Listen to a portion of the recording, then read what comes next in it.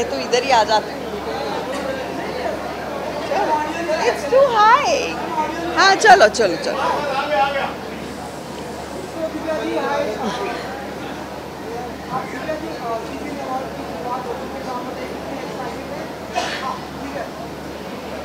Well well, uh, बहुत दिनों के बाद ऐसे ओपन ग्राउंड्स में अवार्ड्स बहुत इंटरेस्टिंग लग रहे हैं अच्छा लग रहा है। वापस जी सिने अवार्ड्स आके। मैं पहले बहुत बार जीत चुकी हूँ जी सिने अवार्ड्स और इस बार नॉमिनेटेड हूँ। So feels really nice Dhaakad का रोल मेरे लिए बहुत खास है रोहिणी का so just fingers cross but I am just here to enjoy the event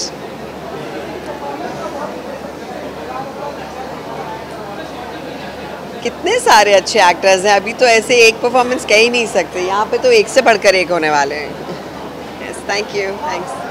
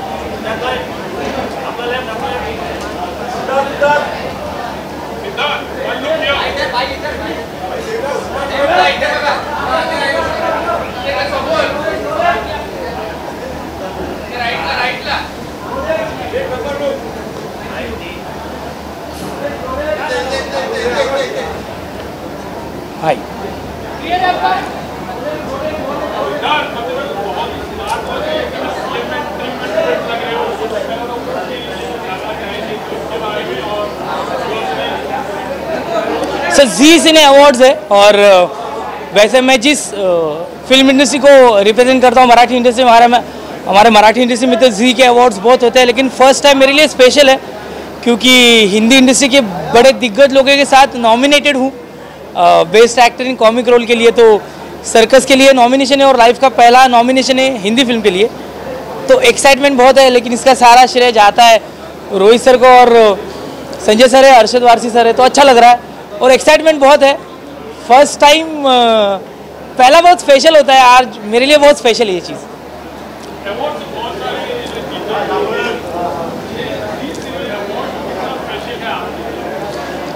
sir हम लोग थिएटर बैकग्राउंड से और हम लोग टेलीविज़न से आए तो हमारे लिए जी जी जी हमारे लिए बहुत इम्पोर्टेंट चीज़ है हमारे लिए। जैसे जी मराठी है और जी जैसे मैंने बोला कि मैं थिएटर से हूँ तो जी रीजनल थिएटर एक्टर्स के लिए ना वन एक्ट प्लेस ऑर्गेनाइज करते थे तो हम वहाँ से आए हुए हैं। तो जी ये हमारे लिए बहुत इंपॉर्टेंट है और जी सिने अवार्ड तो स्पेशली इम्पोर्टेंट है क्योंकि एक बहुत बड़ा अवार्ड शो है। और एक्साइटेड हूँ, भाई, ज़्यादा कुछ बोल नहीं सकता हूँ। हाँ थैंक यू थैंक्स तो कॉम्प्लीमेंट स्टाइलिश का है सब, मेरा कुछ नहीं है सर एक्साइटमेंट तो ये अवार्ड शो की थैंक यू है बा, बाद में पता चलेंगे लेकिन अभी एक्साइटमेंट ये अवार्ड की है।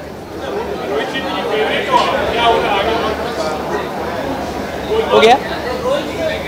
हाँ सॉरी देखते हैं अभी अभी तो फ़िलहाल तो सर्कस सर्कस मोड है। Thank you